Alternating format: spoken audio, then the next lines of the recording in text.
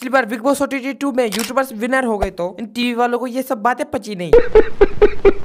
इस बार Bigg boss सत्रह में इन्होंने व्यू के ज़ीरो सेवन राइडर मतलब कि यूट्यूब कम्युनिटी के मेंबर्स को रोस्ट पे रोस्ट किया जा रहा है। ये तो लेटेस्ट न्यूज़ है। बाबलों को बोलोगे मुनावर भाई वो भी तो एक यूट्यूबर है उन्हें तो कोई कुछ नहीं कहता। अभी मुनावर भाई को तो आदत है कैद रहने की। कभी रियल लाइफ में तो कभी रियलिटी शो में।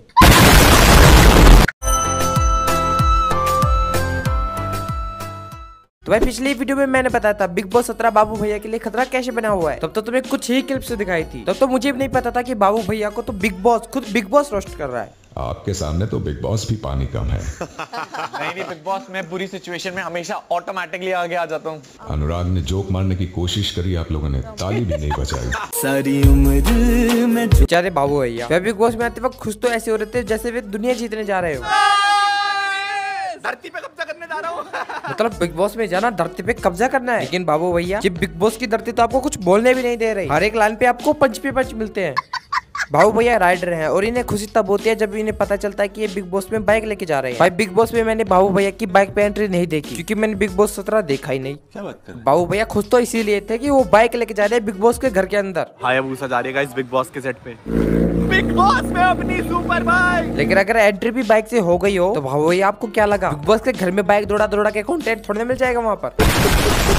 और वैसे भाई मैं सच बता रहा हूँ मैंने बाबू भैया की शायद ही कोई वीडियो देखी होगी। और वीडियो में देखू भी क्या? और दूसरे दिन इनकी कार और bike damage accident crash damage crash crash अरे भाऊ भैया चलाने नहीं आती तो खरीदते क्यों नहीं क्या कहा? इंश्योरेंस क्लेम लेने के लिए।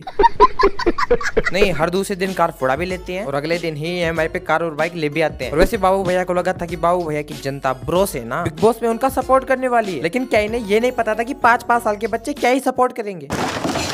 भाऊ भैया के बाद अगले यूट्यूबर है मुन्नावर भाई, जिन्हें बिग बॉस में शायद इसलिए रखा गया है क्योंकि बिग बॉस वालों को पता था कि मुन्नावर भाई तीन महीने क्या, अगर तीन साल के लिए भी बिग बॉस हो तो भी बीच में बिग बॉस छोड़ के नहीं जाएँगे। क्योंकि उनको तो आदत ही है कैद रहने की। लेकिन मुन्नावर भाई थोड़ी शायरी वगैरह भी करते हैं। वो बात अलग है बिग बॉस वाले उन्हें हर दो मिनट में शायरी करने के लिए बोलते हैं। तो ये शौचालय में बैठ के शायरिया सोचते हैं। वैसे तो मैंने इनका चैनल कभी देखा नहीं लेकिन वीडियो बनाने के लिए देखा। तब क्या देखूँ? ये तो थोड़ी बहुत कॉमेडी कर लेते हैं। लेकिन ज़रूरत ही क्या है? जब इनकी जनता बिना बात बिना कुछ बोले बेवजह ही गला फाड़ फाड़ के हंसने लग जाती है। कोई है करके एक सीरियल आता था पता है? पता है?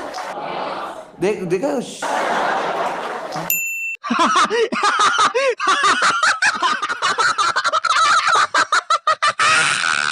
समझ रहे हो?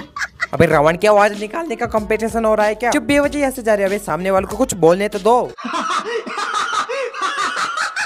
तो भाई, कैसे लगी आपको आज की छोटी सी वीडियो अगर आपको इसका अगला वाला पार्ट भी देखना है तो नीचे कमेंट बॉक्स में कमेंट करना होगा। सो थैंक्स फॉर वॉचिंग जय श्री राम। यहाँ पर इनको डुप्लीकेट पार्वती पार्वती नहीं क्या है सरस नोई क्या है परिणीति चोपड़ा सर अच्छा तू बड़ा जानता है।